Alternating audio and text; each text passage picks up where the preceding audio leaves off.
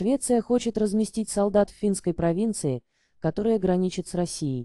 Швеция планирует разместить своих солдат в финской провинции Лапландия в рамках сотрудничества с НАТО. Этот регион граничит с Россией.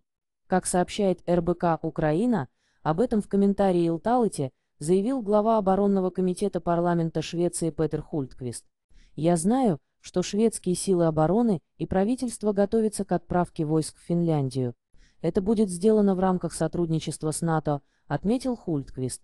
Он уточнил, что сейчас на севере Финляндии формируются силы, в которых входят солдаты из разных стран, и Швеция примет участие в такой операции.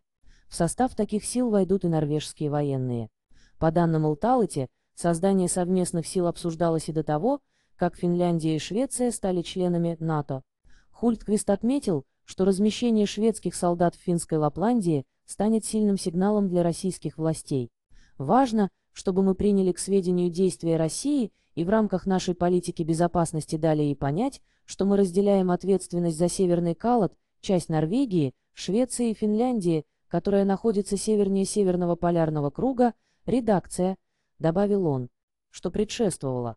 Напомним, в апреле 2023 года Финляндия стала членом НАТО. При этом Швеция вступила в НАТО только в марте этого года. Процесс вступления стран в Альянс начался после полномасштабного вторжения России в Украину.